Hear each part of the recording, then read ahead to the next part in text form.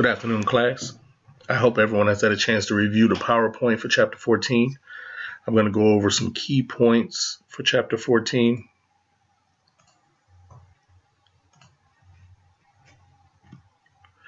So the learning objectives are explain how to account for cash dividends, stock dividends, and stock splits, discuss how stockholders' equity is reported on and analyzed, and describe the form and content of corporation income statements.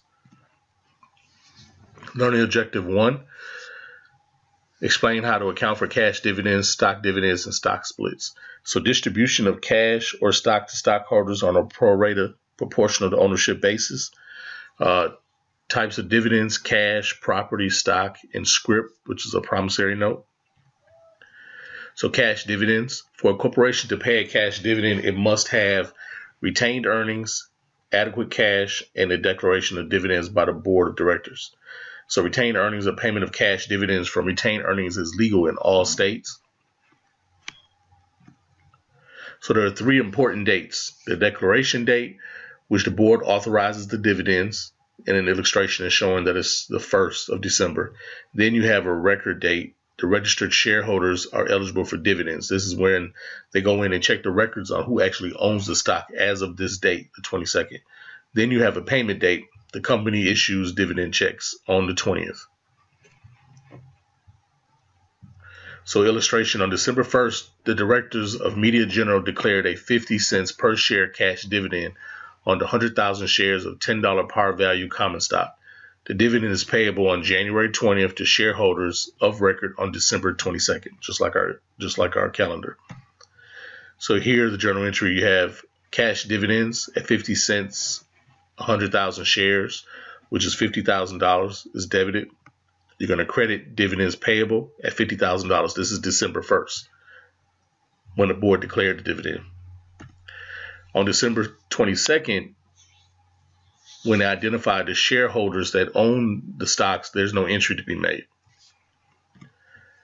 On January 20th, when they actually made the payment, you're going to debit dividends payable and credit cash when you actually make the payment.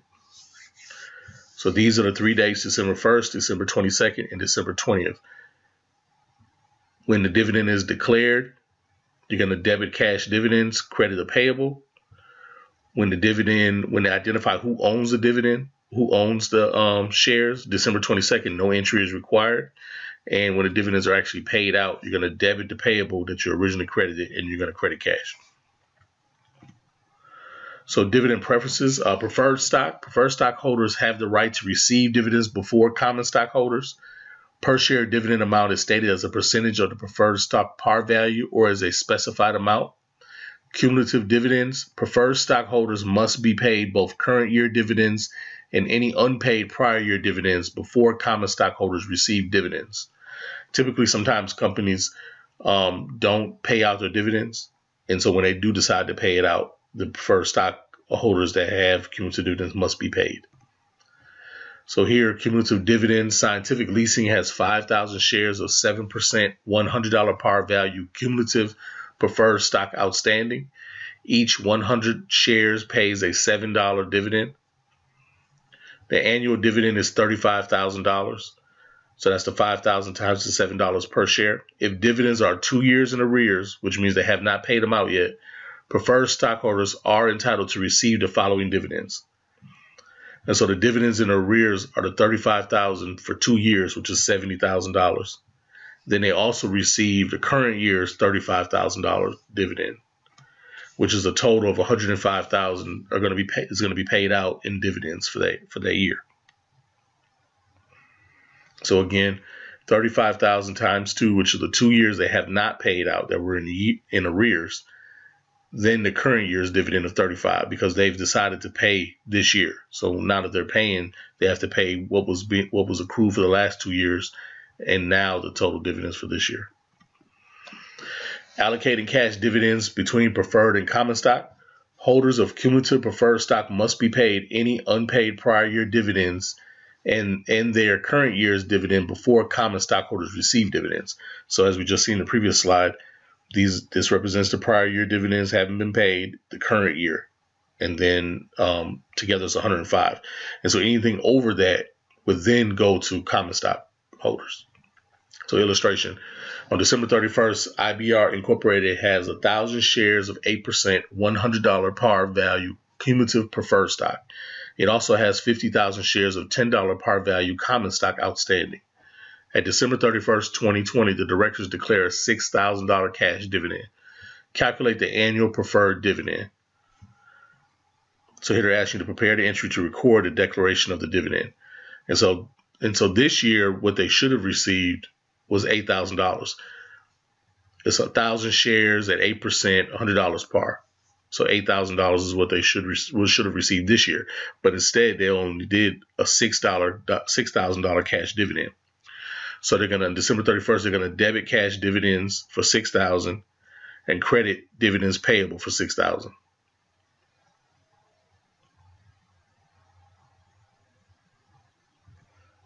So even though 8,000 was the calculation, 6,000 is all they declared to pay. So now the same company at December 31st, 2021, which is the next year, IBR declares a $50,000 cash dividend. Prepare the entry to record the declaration of the dividend. So here, again, you're going to debit cash dividends for what was declared. You're going to credit dividends payable for the 50,000 that was that's going to be paid out just like in the previous entry with the 6,000. So at December 31st, 2021, IBR declares the same $50,000 cash dividend we're dealing with. They want to show the allocation of the dividends to each class of stock. And so they declared $50,000 total dividend. How you're going to allocate it. So allocate it to preferred stock, dividends in arrears. So remember, they were owed $2,000 from the previous year, from 2020, because they only received eight, they only received 6,000 of the 8,000 they should have received. So this is the 2,000 that they were owed in arrears. Now they're receiving 8,000 for this year, 1,000 times the $8 for the 2021 dividend, which is a total of 10,000. Once you subtract the 10,000, what's left over is allocated to common stock, which is the 40,000.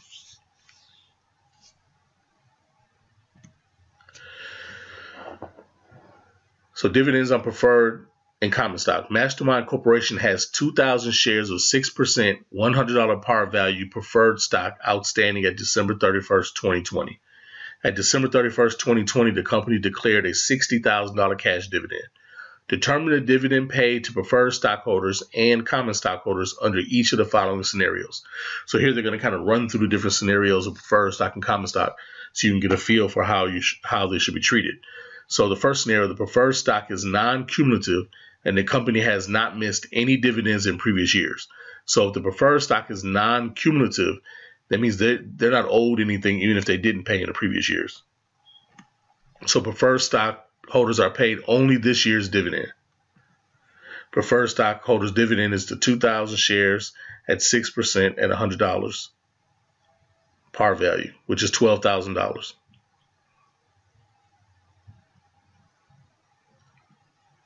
common stockholders received 48,000, which is the 60,000 that was that was declared in total, less the 12,000 that goes to preferred stockholders, which so the remaining is 48,000. The total here is $60,000. Scenario 2. Preferred stock is non-cumulative and the company did not pay a dividend in each of the two previous years. So past unpaid dividends do not have to be paid. Preferred stockholders is twelve thousand dollars, two thousand six percent, hundred dollars, par value. Common stockholders, common stockholders, same thing, forty-eight thousand to sixty thousand minus the twelve thousand dollars. The third scenario, preferred stock is cumulative, and the company did not pay a dividend in each of the two previous years. So it's very important to notice that they're saying the preferred stock is cumulative in this in this scenario. So since it's cumulative, dividends that have been missed, arrears must be paid. So preferred stock, the third is thirty-six thousand dollars. That's the two thousand shares times six percent at hundred dollars par for three years. The two previous years they they were not paid, they were in arrears, and the current year. Now common stockholders receive twenty-four thousand. That's the original sixty thousand that was declared minus the 36,000 that was paid out to the preferred stockholders. And again, the total is 60,000. A pro rata proportional to ownership distribution of the corporation's own stock to stockholders. So reasons why corporations issue stock dividends. So here they're issuing a stock dividend instead of a cash dividend. They do it to satisfy stockholders' dividend expectations without spending cash. They increase marketability of corporation stock and they emphasize a portion of stockholders' equity has been permanently reinvested in the business. So you have a small stock dividend and a large stock dividend. So less the small stock is less than 20 to 25 percent of the corporation issue stock and is recorded at fair market value. Accounting based on the assumption that the small stock dividend will have a little effect on market price of outstanding shares. The large stock dividend, however, is greater than 20 to 25 percent of issued stock recorded at par value. So with the large stock, you're going to use par value as opposed to using the fair market value in a small stock dividend. So here's the illustration. Midland Corporation declares a 10% stock dividend on its 50,000 shares of $10 par value common stock. The current fair market value of its stock is $15 per share. Record the entry on the declaration date. So a stock dividend, 50,000 at 10% times $15 is $75,000. You're going to credit common stock dividends distributable for 50,000 and credit paid in capital excess of par common stock for the difference for 25,000.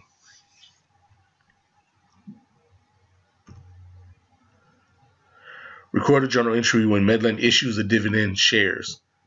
And so when they actually make the payout, you're going to debit common stock dividends distributable and you're going to credit common stock.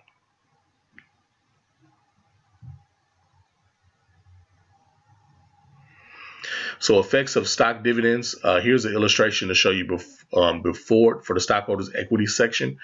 Before the dividend, the change, and then after the dividend. Now notice the things the things that changed here um, are the outstanding shares. So now you have 55,000 outstanding, but everything else pretty much stays the same.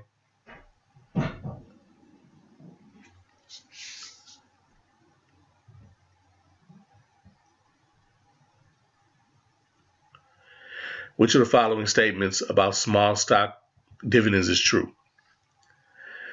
And so here, again, they want to test that you understand that market price per share should be assigned to the dividend shares, not the par value. So stock splits, issuance of additional shares to stockholders according to their percentage of ownership, reduction in par or stated value per share, increased numbers of shares outstanding, reduces market value of shares, and no journal entry is recorded, no effect on any balance sheet in the stock, any balance in the stockholders' equity. Um, stock split just increases the number of shares of stock that are outstanding. Um, this is done for a management reason, for, for many different types of reasons, like we just stated. An effective this is an effective a four to one stock split for stockholders. So before the split, they owned four shares. After the stock split, these shares um, multiplied based on the split, but their ownership stayed the same. They still own the same value in this kind of illustration to show you if they own a quarter of the business, it's still the same quarter of the business. So the number of shares owned increases, but the percentage of company owned remains the same. Sometimes companies do this to uh, make their stock more marketable.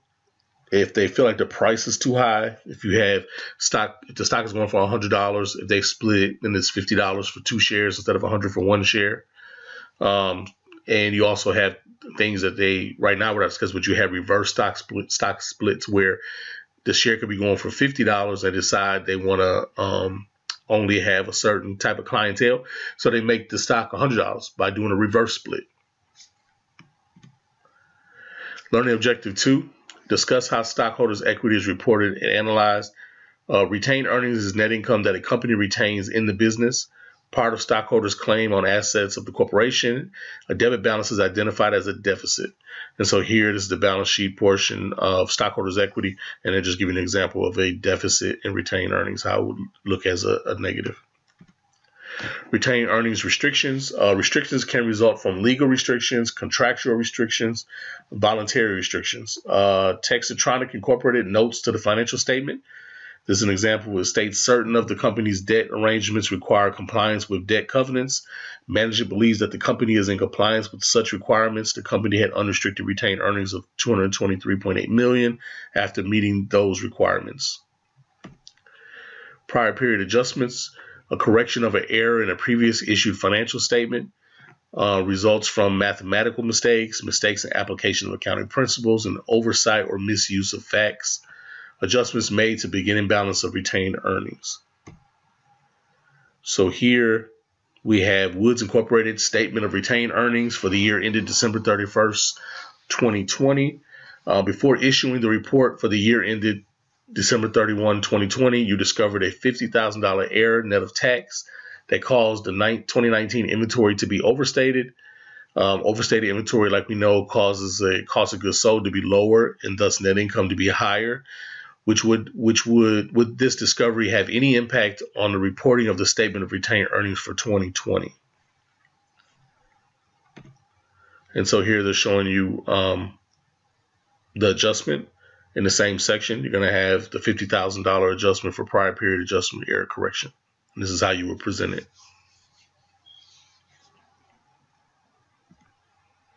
So the journal entry is going to be a debit to retained earnings and a credit to inventory.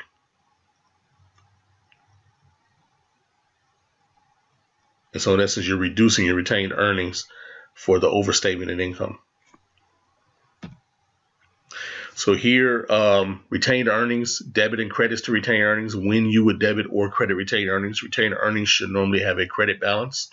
So if you have a net loss, you're going to debit retained earnings. Any prior period adjustment for overstatement of income is going to require a debit.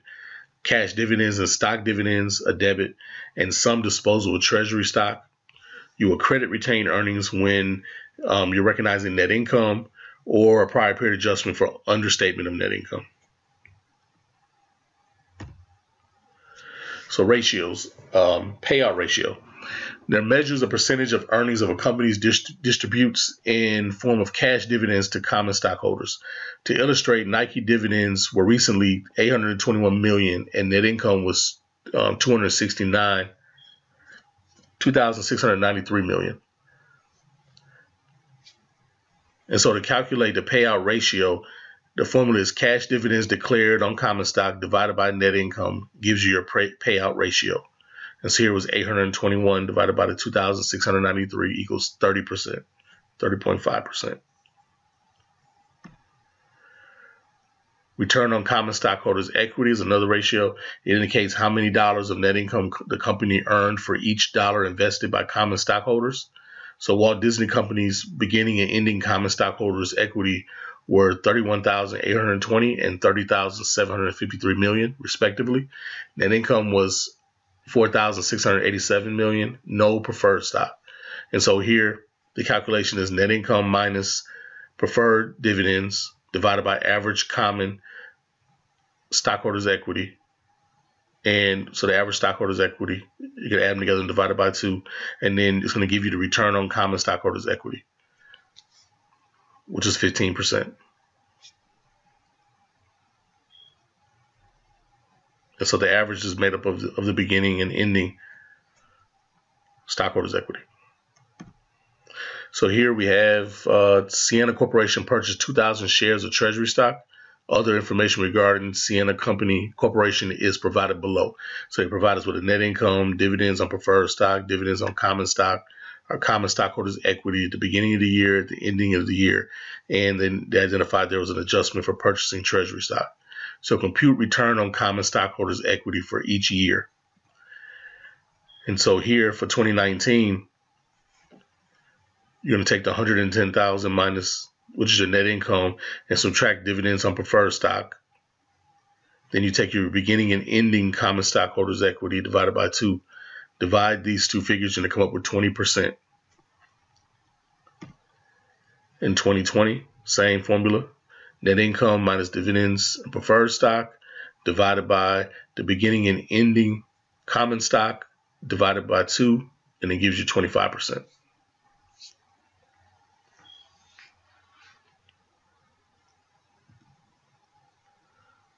So that's the end of these key points. Um, make sure to review the full PowerPoint. Uh, the password letter for the quiz is C. Um, these ratios are, are important, so make sure you go through the slide and copy down these ratios so you can remember and, and you can um, remember how to apply them. Uh, good luck on the quiz.